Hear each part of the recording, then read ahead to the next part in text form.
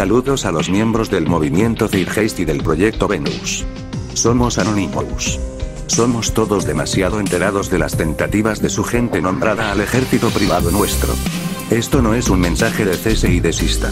El objetivo de este mensaje es explicar a sus grupos que no usamos nombres, y no somos un ejército privado para luchar por, o con, nombres. Hay muchos entre nosotros que estamos de acuerdo con sus grupos llamados sobre el retiro de divisas. En efecto, es la única solución. Sin embargo, sus nombres siempre están en el camino de sus objetivos e ideas.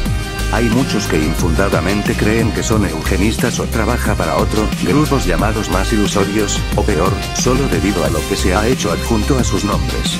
Sus nombres también le hacen aparecer como un culto cuando sus miembros simplemente spamean los nombres en vez de las ideas. Somos Anonymous.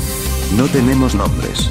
Nuestra ideología es la de ningunas ideologías, ningunas etiquetas y ningunas moralejas culturalmente dependientes. Cuando uno es anónimo, uno es libre y realmente solo ligado por la ley natural.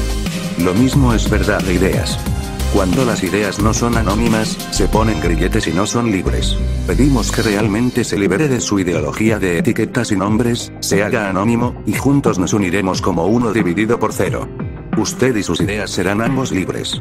Varios de nosotros procuran convencer a los demás en el IDEMIN de que quitar divisas es la única manera de socavarnos de este hoyo en el cual estamos. Mientras extensamente con éxito, son demasiado unos cuantos en un mar de muchos, y también hay los escépticos acérrimos. Más es necesario para liberarse. Si realmente decide hacerse anónimo, saber que no debería usar nombres. No use ningún nombre propio de ningún grupo o idea o persona, porque los nombres se pueden dividir y conquistar. Los nombres se pueden difamar, destruirse y arrastrarse. Las ideas no pueden ser destruidas. Permanezca fuerte.